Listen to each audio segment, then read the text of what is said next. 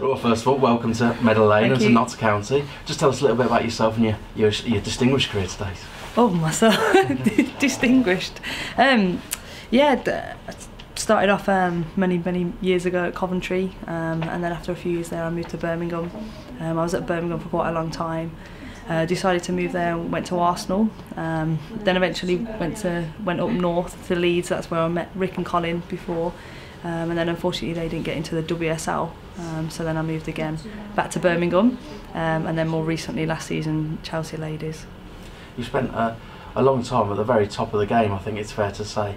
I was sort of researching, desperately trying not to use the word veteran, but you've, oh no! you've, you've certainly been in and around the game as it's grown as a, as a, as a sport, I suppose, for the ladies and, and how it's developed. Yeah. And I mean, it's, it really has come on leaps and bounds, hasn't it? Yeah, that's right. It's an exciting time to be involved in women's football, whether you know on or off the pitch, as a staff, as a player, for anyone involved. It really is an exciting time, um, and you know the fact that I could come, move to county, um, be closer to home, um, and still be involved in it is really exciting.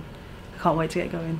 I think obviously only in the second season as Notts County, but from what we've seen, the signings that are made, there's a real calibre of, of players been brought in. It's exciting times. Yeah, I, th- I think last season Notts County did really well. There's a lot of adversity thrown at Notts County, be injuries and different different things along the way. And I think the way that the the whole club ended the season in style with, with the momentum that they managed to game and um, you know so diff- hard to beat and they really had from an outsider looking in last season there was a really kind of a great team spirit and a togetherness that couldn't be unrivaled by anyone else. So um, I think think that's really good. I think that the players that were there last year will have to you know enforce that and bring that again this season. There's some great youngsters already here um, and added with the fresh energy and enthusiasm from some of the new players.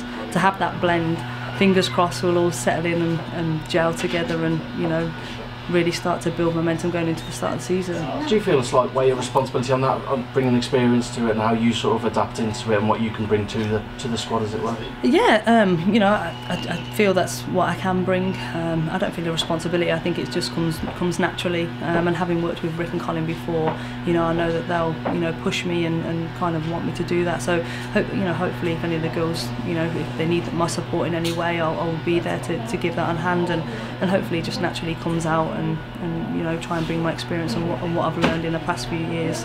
Um, to help the team get where we want, where we want to be. And that's these next few weeks, I suppose, isn't it? Just keeping it bubbling up, bubbling up, just getting it nicely to the boil for the start of the season. Yeah, exactly. Um, it's get to know each other um, as much as we can, um, seeing how everyone's work. Because you know, at the end of the day, when people are happy and smiling, um, they're going to perform well, well themselves, and, and ultimately that's going to help the team. So hopefully that's what we can do in the next couple of months.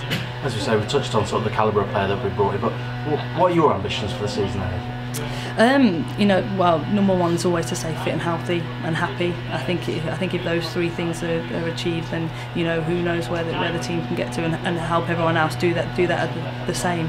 Um, you know, the last few seasons I've been used to um, being in finals and, and competing, whether it's gone my way or not.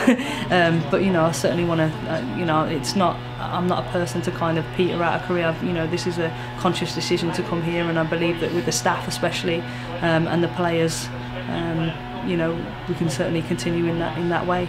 And the fans to be excited about it. Yeah, yeah, you know, from an outside again looking looking in um, from having played it last year, the, the support and the, the across the city, both the fans and you know the, the way this city loves loves sport. You know, it's absolutely brilliant, and to be supported like that, hopefully it can continue and we can push on.